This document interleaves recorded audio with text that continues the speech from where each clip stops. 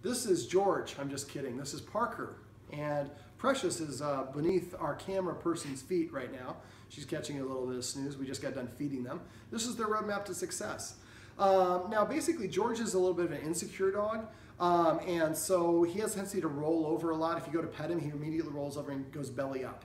That's too submissive a posture. So I'd like to have no one petting him when he does that. As soon as we walk over to him, as soon as he lifts his leg or starts doing it, just walk away or stop petting and engaging with him. Now, eventually, if he gets to the point where you're petting him, he kind of lays back and then gradually opens and gives you his chest, that's different. Right now, he's doing it as you're walking towards him. It's too submissive. Um, we want him to build up his confidence, and so one of the ways we can do that is petting with a purpose. So I think that he has been overloved. Um, his guardians love him very much. Um, they came from a rescue situation, both dogs did. And like a lot of our guardians do, they love the dog so much they want them to know that they're in a safe place. And so we shower them with love and affection, which is a very healthy and important part of the rehabilitation process. However, that needs to be a short term period. If you're watching this at home, usually two to four weeks is what we're looking for for the unconditional love Dogs interpret unconditional love as weakness. So if we continue loving our dog unconditionally, that can give them the impression that they think that they need to be in charge of us. And I'm pretty sure that's what's going on here. But we are starting off with an insecure dog to begin with, with low self-esteem. Then he feels like he's responsible for the humans and the humans don't listen to him. That stresses him out even more. So we want to basically remove the burden of responsibility from him so that he can just be a good, happy, well-adjusted dog. So um, we want to build up his confidence and self-esteem. We can do that a couple ways. Um, first of all, we're going to enforce rules consistently and kind of shrink his world. So no, not being allowed on the furniture because the higher a dog sits, the more rank they have. Certainly not up here. Um, and then we're going to do this no furniture until he starts behaving better and we, the behavior problems we have are gone. Then at that point, invitation to get on the furniture only. And then only for good behavior. So if he's up here and starts barking, he has to immediately get down. Now, if he starts barking, what I do is I typically push them firmly to the edge, but not all the way off, so the dog feels like it's teeter-tottering. As soon as the dog, and it, that'll cause the dog to want to jump off on its own. I always want the dog to do the work. As soon as he does that, I would reach over and pet him and say the word off. So we're creating a command word for getting off the couch and giving him a little bit of reward for getting off, because when we take him off the couch, we are demoting him a little bit. Um, because he has less self-esteem, we're going to like to pet him under his chin. Now, he likes this anyways, as guardians have identified, which is great, but we want to do this especially when we're doing passive training or petting with a purpose. So for passive training, every time he comes to us, we're going to pet him and say, come. Every time he sits down on his own accord, we pet him and say, sit. Every time he lays down, we're going to pet him and say crash, or whatever the word is for crash. When he takes the first bite of his food, we're going to say dinner for him, supper for precious.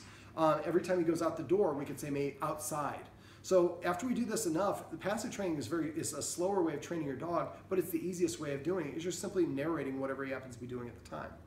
We also like to see the guardians petting with a purpose. So that means we're, we're not going to let him jump on our lap and pet him anymore. Instead, if he wants, well, he's not going to be allowed on the furniture.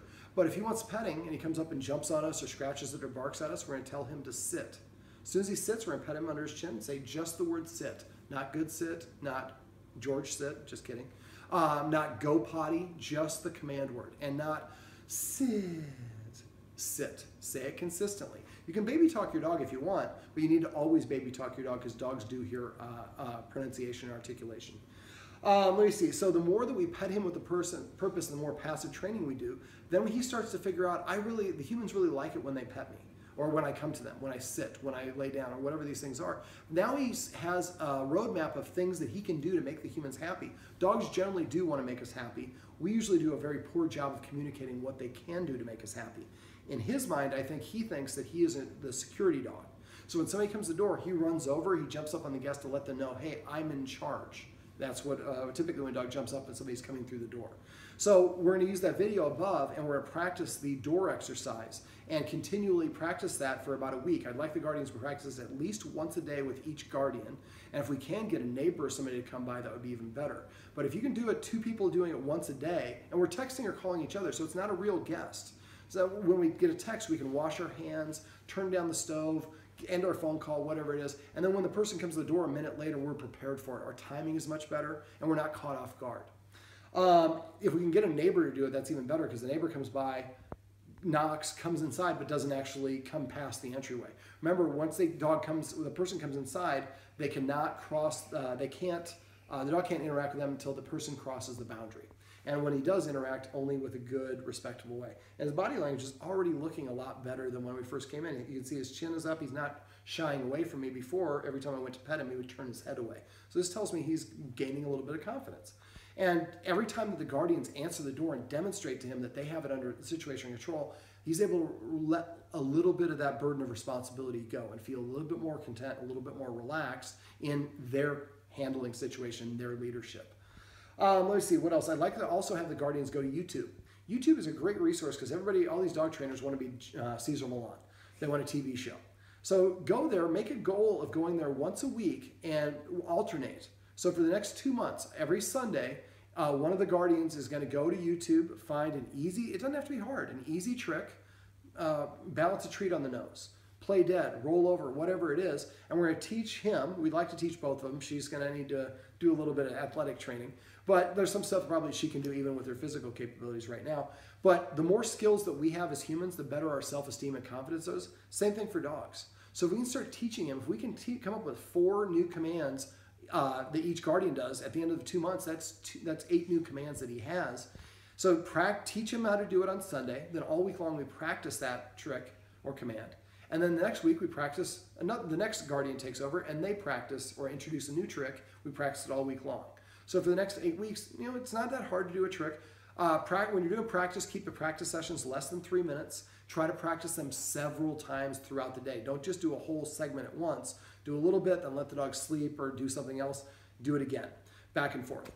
Um, let me see, what else? Uh, we want to use the escalating consequences to disagree with the dogs when they're doing the thing we don't want. Remember, the first thing we do is hiss one time only before the dog does the wrong thing. Second thing we do is we stand up abruptly and turn to face the dog. As soon as the dog's stationary, we take two steps backwards. Left, right only, pause one second, then go back to doing what you're doing. Third consequence is we're going to march directly at the dog until the dog turns sideways to us or greater. As soon as the dog turns sideways, we stop. Then we go to the second consequence. Now we're, we're in place, we're pivoting our hips to keep the dog in front of us. As soon as it's stationary, we take two steps backwards, pause one second, then go back to doing what we're doing. The fourth consequence is the leash timeout. You didn't like the leash timeout very much. Um, we're going to put the dog in a leash, step on the leash. In these guys' case, about a foot and a half to two feet away from where it attaches to their leash uh, to their collar. Um, if they protest, we're just going to hang out and wait and let them run it through their system. When they get done, they will sit down. When they sit, if he sits here, I'm going to take my foot that's on the leash and slide it and the leash towards him to take the tension off the leash. A minute or so later, or several minutes later, he will lay down. When he lays down and he's calm, I can take my foot off the leash. At that point, he's free, but he should only be on the leash, uh, un uh, dragging the leash around un, as long as he's supervised. He could injure himself if he's not supervised. A minute or two go by, he stays good, we take the leash off. A minute or two goes by and he starts barking again, or as he runs by, we step on the leash and we reapply the consequence. Um, so those are the escalating consequences. Make sure you always start with your hiss, go in order, and eventually you only have to use just the hiss. But right now it'll be hiss, stand up, march, leash, and eventually just hiss, stand up, march, and then hiss, stand up, and just hiss. Uh, let's see. Um, Precious needs more exercise, and uh, I'd like to see her guardians putting some green beans in with her food and substituting some of her food. They're only feeding the dogs once a day. Precious's case, it might, if possible, it'd be better to feed her three times a day. The more we feed, eat, the faster our metabolism stays going. That's a great, easy way to burn some extra weight is feeding multiple times a day and smaller meals. And so uh, for Precious, I recommend that Anna Guardian kind of does a version of this, putting her food instead of just in the bowl, kind of making a trail, a little ball here, a little ball here, a couple inches apart. And each time we make maybe make it start first as two inches for the next ball of, of, food, then three inches between the next between each ball. Eventually it's like a foot, two feet. Now she's got to walk around to get her food. The more she moves around, the more appetite she's going to have, and the more calories she's going to burn, the more fat she's going to burn take off. Um, another thing to do, uh, uh, well, she's not a leash dog. Um, so we didn't get a chance to go through that. And she's a rescue dog. She's had a lot of litters. I think that that's part of the issue here is I think the guardians felt sorry for the dog and were trying to make up for what they perceived as an uncomfortable life to begin with. And uh, we want to do that, like I said initially, but eventually we could just end up handicapping our dogs. It's not healthy for them. So the more that we pet with a purpose and do passive training, the better he's going to feel about himself. The more, same thing for her. And you know, the better quality of life that she'll have, the more that she can move around and have fun. Some of the rules we went over would be uh, having to sit before they let him in or out of a door. not being allowed to sit in this little L in front of the couch when the humans are eating any food, not being able to be within seven feet of the dining room table when they're eating food, and not being able in between the work island and the uh, the rest of the counters in the kitchen while food's being prepared. But nobody's eating. The dogs can come in and out of here. They just can't come when somebody's eating.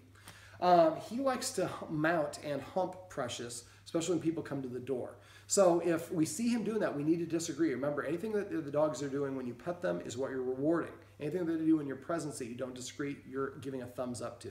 So if we see him humping, we need to hiss right away and stand up and walk over and make him stop. Eventually he'll stop doing that, but it's not healthy for her. It's also not healthy for him to think that he has the dominion over her. Um, let me see, what else did we go over? Um, counter conditioning, the doorbell. Um, if you have a problem with us and uh, the counter conditioning, he would not take a treat from us because he's kind of insecure, and probably because we didn't come in and just fallen all over him, which we probably should have done. Uh, but that's okay. Um, so what we're going to do is we're going to take one of these treats, we're going to hold it on the flat side, and we're going to smash it. So it's like a pancake now. And what I'm going to do is hold it in front of his nose. Now you can see he's not interested in this, but if his guardian was doing it, he probably would take it. Um, so what we do is we let him nibble on it, start nibbling on it, once he's nibbling on it, then we're going to give the code word to our partner. Maybe we say color, and then that person is going to ring the doorbell. So it's important that he's chewing on this before the doorbell rings. And we have him on a leash to prevent him from running around. The more the dog runs around, the more worked up they get. So if we can keep him uh, sedate or sedentary, it's going to prevent him from getting too excited. Now, if you can't get him to sit and take the treat in this room, Go to the next room, close the door behind you, go to the basement. Keep increasing the distance between him and the doorbell until he can't stay seated and chewing the treat and have the doorbell ring and continue to chew the treat. Now, if we have to, we have a two part doorbell here. We can press it, go ding, and hold it. And then the next time the guardian says blue, then we start letting him eat the treat. Then we say dog. Oh, you're going to take it. Oh, he was thinking about it. Um, but that's a good sign that he's insecure. So something else we could do is have guard people come over um, and uh, as he's developing more confidence, and have them ask him to sit and then give him a treat. Um, ask him to lay, come to them and give him a treat or pet him or whatever the case may be. So he learns that I can get rewards from other people, not just my guardians. And that social exposure should help him with uh, as well. Um, let me see. Uh, the marking is related to him thinking that he is in charge, and that's related to not having any rules. So remember, when you're coming up with these rules, it's not being mean when you enforce them. You're simply helping shrink his world so he doesn't feel responsible for that anymore, and that will help him relax. Now, so there are some uh, watchwords that we want to go over. Remember, if we come out in the room and we see that somebody's petting, uh, uh, petting one of the dogs, and the dog is standing, we say paycheck. That means I think that you might be petting the dog without a purpose. That person who's petting the dog would stop, tell him to sit, and he sits. We pet him under his chin, say just the word sit, not good sit. And then we could say to our partner, actually, I asked him to sit before he came in the room. When you flushed the toilet, he got up and I continued to pet him, and David said it's okay, which it is. Um, he just has to change his state or prepay for attention. Um, the more once he gets the part where he just starts sitting in front of the humans to ask for attention, he's going to be a lot more confident. And that means he's not going to be do, doing the rollover and giving his belly and barking incessantly and all the rest of that stuff. So for the counter conditioning, make sure that again we're, we're doing it far enough away where he'll take the treat and stay in a sit once he can do that five times in a row, then we take one step closer and repeat that process. When you get to the point where you put the treat in, he's looking around it, or he won't sit, you're close to his breaking point. You cannot practice past the breaking point. This needs to be what we call sub-threshold. So as soon as we get to his breaking point, we stop, and then we, you know, maybe play ball or do something else, and then come back and do it a little bit later on. Just take note of how far away from the doorbell you were, and you start, if we were 25 feet, we start at 25 feet again. Maybe we go to get to 20 feet by the time we end, the next time we practice, we practice at 20 feet as well. And so each time we're going to do this, we're going to keep on going back to the distance we stopped at the day before and do it very progressively. If you do this and you take your time, you'll eventually get to the point where he'll be right next to the box and he could care less the doorbell is ringing. All right, George. He's like, it's Parker. Um, this is uh, Parker and uh, Precious's roadmap to discuss. Oh, before we do that, if you have any questions, make sure you text me. I called the guardian right before I came here, so she should have my personal cell phone number in her, in her cell. Program my name in it, but also put Dog Gone Problems. Because you probably aren't going to need have questions until six months or a year from now, and you're going to forget my name. Women do that all the time. So this way you can just search for Dog Gone Problems. My number will come up, and I want you to call me or text me. I can only help you if I if you reach out. If I don't hear from you, I assume everything's going great because that's usually the way it is. There's absolutely nothing wrong with asking for help, and I'm here to support you. I don't care if it's a minute after I leave or three years after I leave. call or text me, but I can only help you if you let me know. All right, Parker, I uh, got your name down finally. It's the end of the session. You'd think I eventually would get it sooner, but here we are. All right, this is Parker and Precious's Roadmap to Success. Remember, everything you do trains your dog, only sometimes you mean it.